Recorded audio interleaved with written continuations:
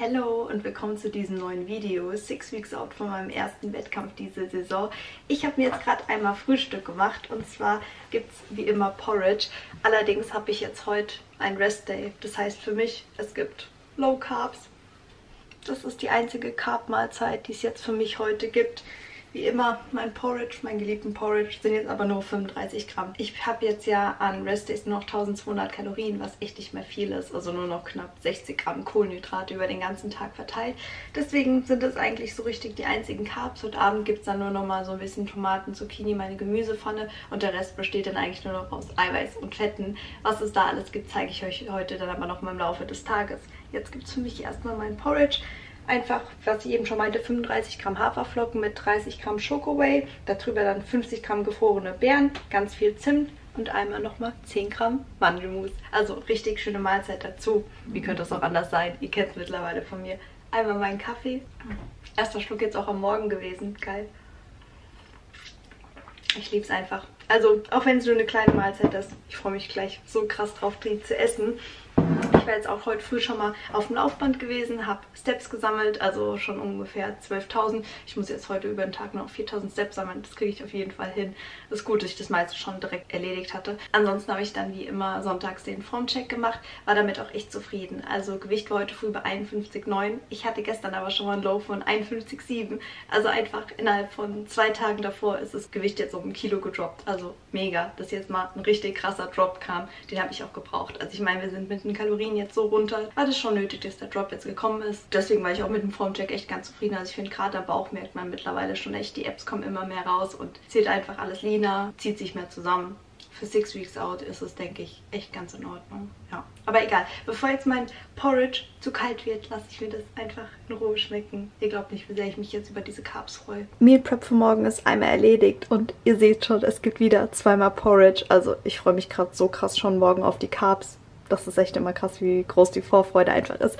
Also einmal wieder als Frühstück, da kommt dann morgen früh noch Mandelmus drüber. Das ist dann einmal mein Pre-Workout. Und als Mittagessen eigentlich das gleiche, was es letzte Woche auch schon gab, was ich erzählt habe, die Änderung, keine Maiswaffe mehr. Dafür gibt es dann einmal Tomaten und einmal nochmal das Eiklar habe ich wieder einfach in der Mikrowelle gemacht. Das funktioniert echt richtig gut. Bei mir war es echt ein produktiver Sonntag bis jetzt gewesen. Also ich habe ja dann mein Frühstück gegessen gehabt. Danach habe ich noch ein bisschen Video geschnitten, die letzten Steps gesammelt.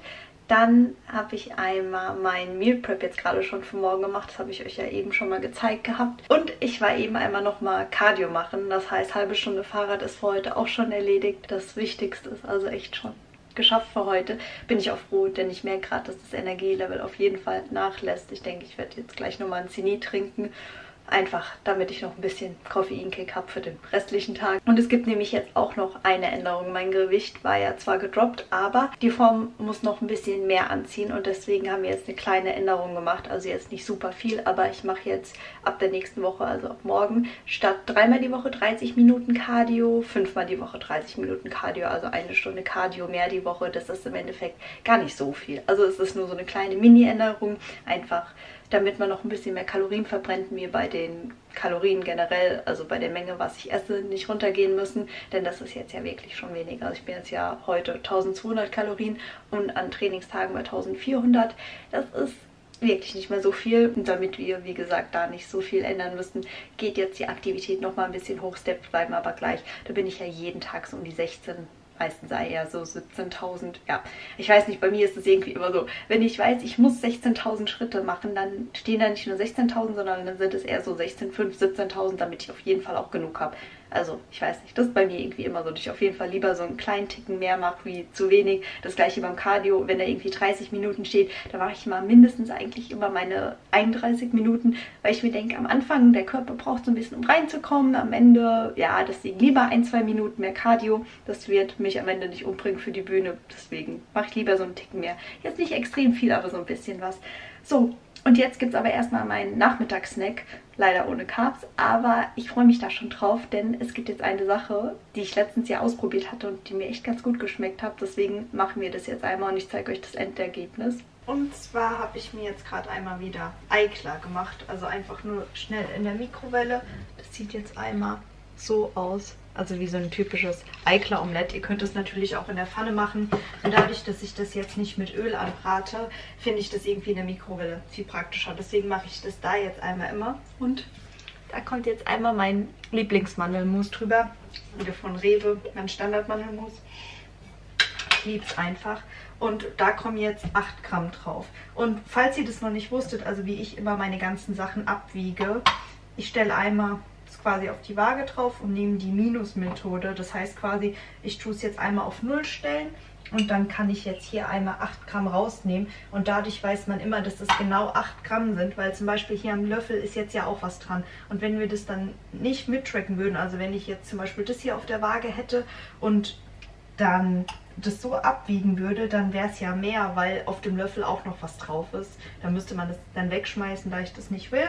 Machen wir das einmal so. Hier steht jetzt minus 8 und so kann ich einmal den Löffel nämlich ablecken. Und wir haben genau die 8 Gramm, die wir brauchen. Also einfach nur das, was ihr abwiegen wollt, auf die Waage stellen. Und dann habt ihr es einmal so. Das sieht jetzt nämlich einmal dann so aus. Also nicht so krass spektakulär, einfach nur Eiklar mit Mandelmus. Aber es schmeckt echt ganz gut. Also ich hätte es nicht gedacht, aber ist wirklich lecker. Man hat Eiweiß, man hat Fett und na gut, gefühlt in der Prep würde ich jetzt sowieso alles essen. Selbst wenn ich mich tagtäglich nur davon ernähren müsste, würde ich das auch immer essen. Ist eben eine Prep-Sache. Und ausnahmsweise machen wir jetzt mal wieder den Taste-Test zusammen. Also ich nehme als allererstes so ein bisschen was von dem Eiklar.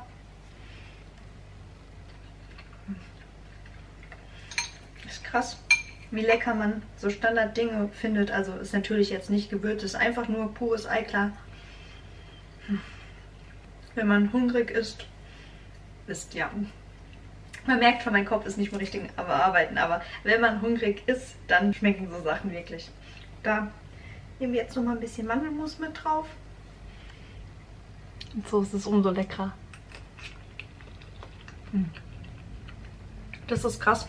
Diese Kombi mit dem Mandelmus, es schmeckt dann wirklich einfach nochmal tausendmal besser.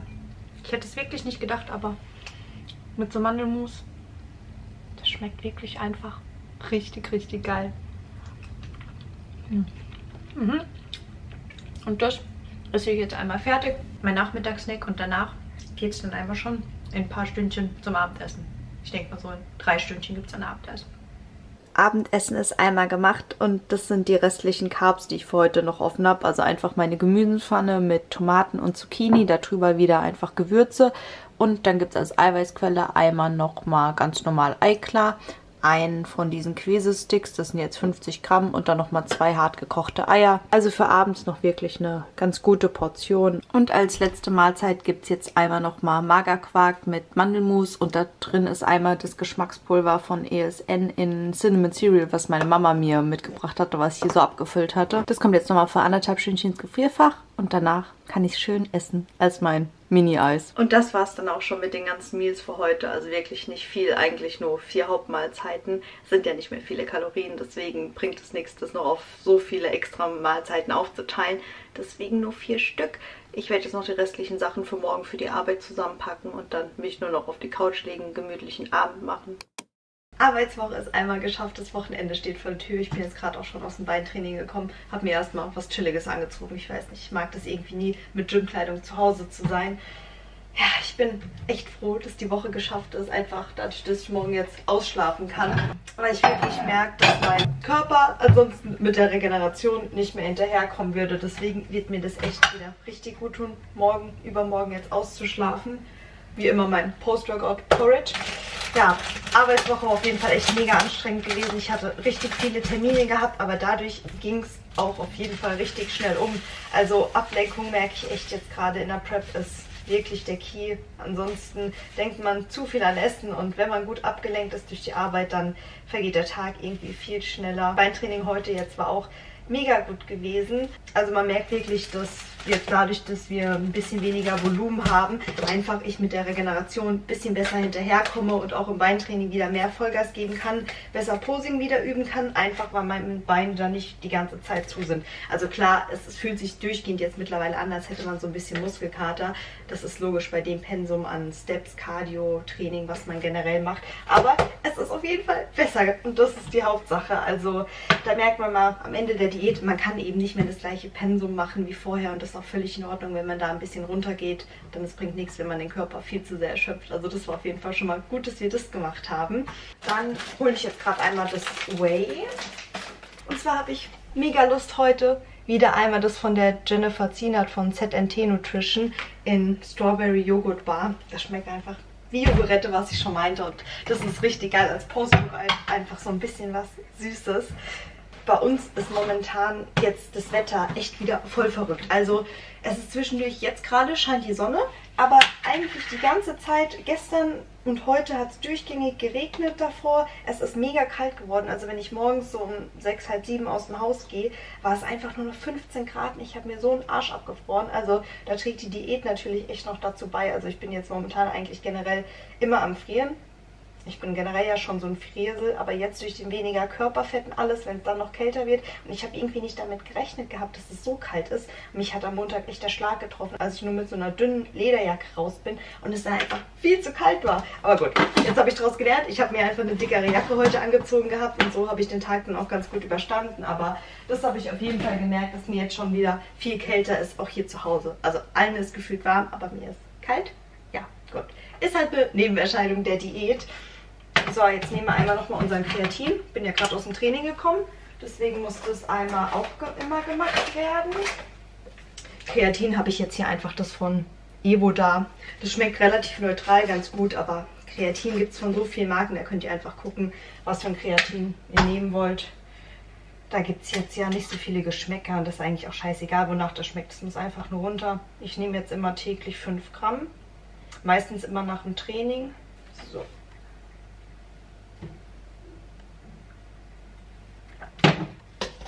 Sehr schön einfach ein bisschen mit Wasser runterspülen.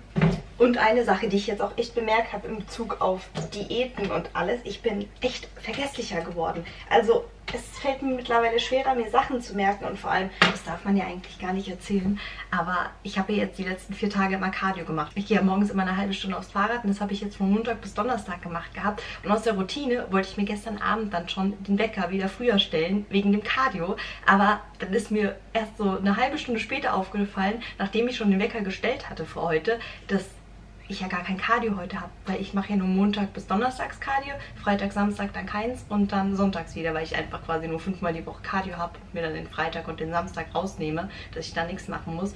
Aber das war so jetzt schon der Routine drin, morgens Cardio zu machen, dass ich heute fast aus Versehen einfach fast eine Dreiviertelstunde früher aufgestanden wäre und so eine Dreiviertelstunde länger schlafen konnte, wo ich echt dankbar für war. Aber da merkt man mal, was Routinen eigentlich ausmachen, dass es voll gut ist, dass es eigentlich schon so jetzt bei mir drin ist, dass ich morgens Cardio mache, aber trotzdem. Also, wenn ich nicht nochmal nachgedacht hätte, wäre ich umsonst früher aufgestanden. So voll dämlich. Da merkt man echt mal, dass die Carbs ein bisschen fehlen und man einfach vergesslicher wird. aber gut, mir war es ja zum Glück noch aufgefallen. Jetzt mache ich mir erstmal mein Porridge. Kommt einmal schön mit Wasser jetzt wieder in die Mikrowelle. Immer noch größte Portion. Die Carbs werden nach dem Training halt immer so krass gebraucht. Also das sind jetzt 50 Gramm Haferflocken einfach. Wieder mit Flohsamenschalen. Und ich hoffe, man versteht mich, obwohl das Porridge gerade in der Mikrowelle ist. Aber eine so krasse Sache ist einfach passiert, die ich euch noch gar nicht erzählt habe, weil die jetzt erst die Woche über war. Und zwar habe ich einfach die ersten Adern am Bauch bekommen. Ich glaube, ihr hört schon, wie sehr ich mich einfach darüber freue. Das ist irgendwie so krass für mich, weil ich weiß, in der ersten Wettkampfsaison hatte ich Adern am Bauch am Ende, als die Form immer besser wurde. In der letzten Wettkampfsaison, also im letzten Herbst, jetzt nicht so krass, einfach weil ich ja diese Sache mit meinem Fuß hatte und eine Entzündung eigentlich durchgehend im Körper und ich dadurch irgendwie nicht adrig wurde. Aber jetzt, six weeks out, sind einfach die erste Ader da und zwar echt viele. Also es sind jetzt schon mehr wie bei der ersten Wettkampfsaison. Klar, man sieht die jetzt nur so ganz leicht, aber das war trotzdem so ein Highlight für mich die Woche, dass ich auch merke, dass dieses ganze mehr Cardio und einfach diese Anstrengungen im Alltag, dass mir alles schwerer fällt, sich lohnt. Weil ich einfach immer eine bessere Form kriege und ja, also Adern ist bei mir echt so ein Zeichen, dass die Form richtig gut wird, weil ich ja generell so ein bisschen eine dickere Haut habe und bis man da überhaupt Adern sieht, dauert es schon. Also Adern am Bauch sind da, am Unterarm kommt auch immer ein bisschen mehr, aber ja, Unterarm bin ich nicht so krass gesegnet wie andere Athleten mit Adern. Also das ist echt crazy, was manche da vor Adern haben. Ist bei mir jetzt nicht so, aber zumindest am Bauch kamen jetzt die ersten. Und ich finde auch generell, man sieht einfach bei mir, dass die Form jetzt immer besser wird. Und der Endspurt naht wirklich. Porridge ist einmal fertig aus der Mikrowelle und ich habe mir jetzt gerade schon mal über mein Whey Wasser dazu gegeben. Das verrühre ich jetzt gerade noch und dann kommt es einmal über mein Porridge drauf. Ich glaube, man hört schon wieder, wie sehr ich mich einfach darauf freue, das gleich zu essen. Was aber die Woche auch noch passiert ist, und zwar war das so cool, die Lia war einfach da. Das ist ja auch eine andere Bikini-Athletin, mit der ich jetzt ähm, Oktober auch auf der Evo Classic starten werde. Also die habt ihr, glaube ich, in einem YouTube-Video von mir noch nicht gesehen gehabt, aber ich war schon mal in ein paar YouTube-Videos von ihr auch mit drin. Wir haben uns letztes Jahr das erste Mal auf der Evo Classic gesehen gehabt und davor auch schon ein bisschen über Insta geschrieben und die war einfach hier. Das Video seht ihr dann aber als nächstes, also quasi nach dem Wochenvlog jetzt. Da könnt ihr euch schon mal richtig drauf freuen. Das ist nämlich ein richtig cooles Video geworden. Wir waren zusammen trainieren und haben auch so generell ein bisschen über die Preppen alles gequatscht das war einfach so ein schöner Tag. Also ich habe ganz normal gearbeitet gehabt, ein ähm, bisschen früher Feierabend aber gemacht gehabt und dann kam sie einfach zu mir. Wir waren erst hier bei mir und danach noch im Gym. Das war so ein schöner Nachmittag. Da hat man auch noch mal gemerkt, wie gut es einfach tut, sich auch mit anderen Athleten auszutauschen. Also es war richtig schön gewesen. Allein dadurch ging die Woche schon ein bisschen schneller rum. Weil es so mitten in der Woche war, also am Mittwoch, hat man nochmal so einen kleinen Push bekommen. Das war einfach mega. So, erstmal. Wie immer meine geliebte Proteincreme viel zu fein. Also in der Prep schmeckt einem ja gefühlt eh alles, aber... Hm. Porridge lasse ich mir jetzt erstmal schmecken. Und dann kommt auch schon in einer halben Stunde jetzt gleich die Family. Wir haben es ja Freitag. Da kommt momentan jetzt ja immer die Family zu uns. Da freue ich mich auch schon drauf, gleich wieder alle einmal zu sehen.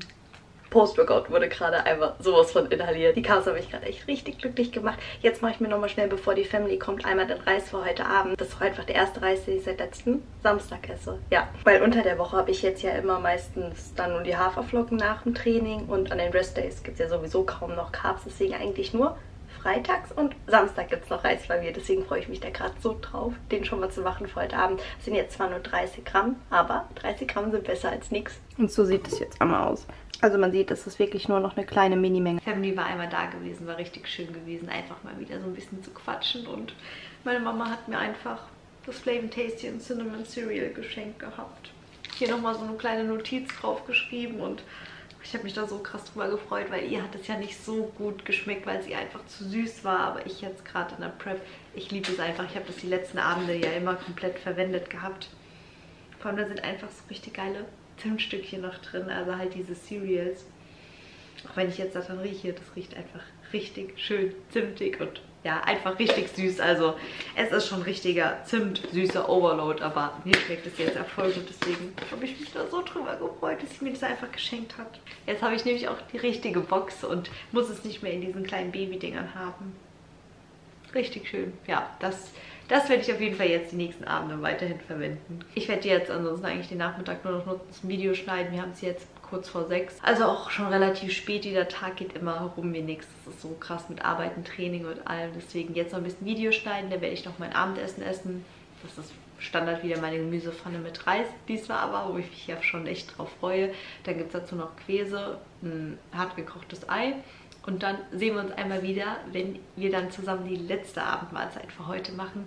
Denn da gibt es auch was richtig, richtig Geiles. Okay, ich muss euch das einfach jetzt schon zeigen. Wir hatten ja gestern wie immer unseren ganz normalen Wocheneinkauf beim Rewe gemacht. Und die hatten die letzten Male schon immer mal neue Nussmusse gehabt. Und die hatten jetzt einfach Nussmus von der Koro Drogerie da gehabt, als ich das gesehen habe. Ich habe mich so krass gefreut, weil ich kenne ja diese Standard Mandelmus von denen. Und auch das mit Zimt Vanille, das hatte ich glaube ich mal so vor anderthalb Jahren ungefähr gekauft gehabt. Und das hat auch echt ganz gut geschmeckt, nur ich habe dann nicht mehr wirklich bestellt, weil ich ja sonst immer meinen Standard Rewe Mandelmus esse, weil ich das einfach liebe und finde, dass das wirklich das Beste ist. Aber die hatten einfach so krasse Sorten da gehabt, deswegen musste ich die jetzt einmal mitnehmen. Und zwar einmal so ein Erdnuss-Smooth Salted Caramel.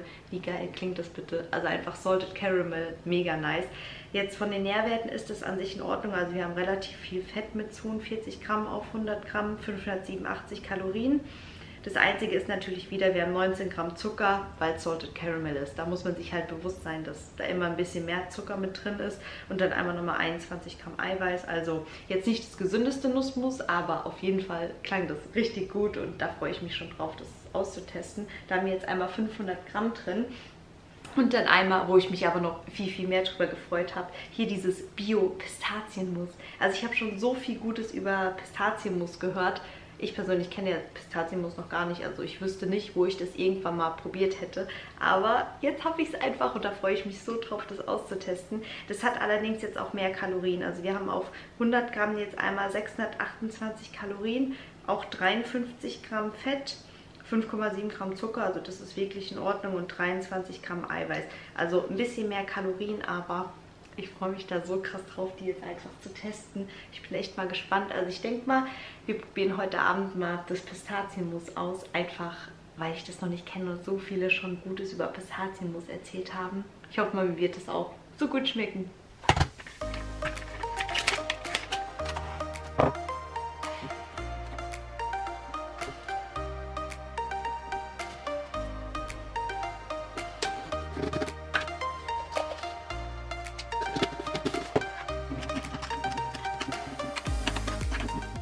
Ich habe mir jetzt gerade einmal schon den Magerquark vorbereitet, also einfach wieder so meine klassische Schüssel gemacht. Und da habe ich jetzt einmal von ESN das Flavin Tasty in Butter Cookie reingetan. Ich dachte mir, die Sorte ist jetzt für das Pistazienmus am besten, weil die einfach am neutralsten schmeckt. Also ich hätte jetzt die Befürchtung, wenn ich da irgendwie was Schokoladiges reinmache, dass das mir vielleicht too much ist, und ich dann dieses Pistazienmus nicht mehr so krass rausschmecke. Deswegen wollte ich es heute jetzt einmal mit Butter Cookie probieren. Ich denke mal, die nächsten Tage werde ich es dann aber auf jeden Fall nochmal mit Schokolade machen machen, weil ihr wisst es, ich liebe einfach mein Flavor Tasty oder generell mein Geschmackspulver mit Schokoladengeschmack. Ist einfach tausendmal geiler. Aber für heute probieren wir das einmal so aus. Dann machen wir es jetzt einmal direkt auf. Okay. Also vom Geruch kann ich jetzt noch nicht viel ableiten. Das riecht einfach relativ neutral. Und zwar haben wir ja 25 Gramm jetzt immer abends im Magerquark. Deswegen machen wir da einfach 25 Gramm drüber. Okay, also ich merke schon, die Konsistenz ist so ein bisschen dickflüssiger. Das ist nicht wie so bei normalen Mandelmus, dass das so richtig flüssig ist, sondern das zieht sich einfach so ein bisschen mehr. Die Farbe ist halt schon cool mit so einem Grün. Das ist mal was komplett anderes. So, und dann haben wir einmal 25 Gramm. So sieht es jetzt aus. Also wirklich Interessant. Naja gut, dann machen wir direkt einmal den Taste-Test. Gucken mal, wie es jetzt so schmeckt und dann einmal nochmal, wenn es wieder im Gefrierfach war mit Magerquark. Mhm. Also im Endeffekt hätte man sich auch denken können, es schmeckt eigentlich nur wie Pistazien. Ein bisschen herber, jetzt überhaupt nicht süß. Also ich glaube sogar, dass das vielleicht mit einer Süße vom Flav Powder insgesamt dann besser schmeckt, weil das jetzt schon, der ist halt eine Pistazie. Was will man erwarten? Jetzt auf den ersten Eindruck liebe ich einfach mein ganz normal klassisches braunes Mandelmus. Ich bin mal gespannt, wenn ich es jetzt dann nochmal aus dem Gefrierfach geholt habe, ob es mir dann besser schmeckt. Aber so ist es in Ordnung. Ähm, ob ich mir das jetzt nochmal holen würde, ich glaube, dafür muss ich es ehrlich gesagt einfach nochmal länger austesten. Also könnte ich jetzt ehrlich gesagt nicht sagen, weil im Vergleich, also wir haben jetzt hier 250 Gramm drin und das war sauteuer. Ich glaube, das hat 15 Euro oder so gekostet gehabt. Und mein normales Rewe, man muss, da sind ja auch 250 Gramm drin, das kostet, meine ich, 6 Euro, also 5,99. Und das ist halt schon ein Unterschied. Ob man 15 Euro für sowas ausgibt, ist schon eine Hausnummer und ich finde, dann muss es einem auch richtig, richtig gut schmecken. Ich teste das jetzt nochmal aus. Also Konsistenz ist auf jeden Fall interessant, weil es einfach so ein bisschen dickflüssiger ist. Ich weiß nicht, ob man das sieht. Aber das fließt halt jetzt auch überhaupt nicht so krass runter. Also ich weiß, wenn ich jetzt mein normales Mandelmus hätte, das wird viel extremer hier einmal runterfließen.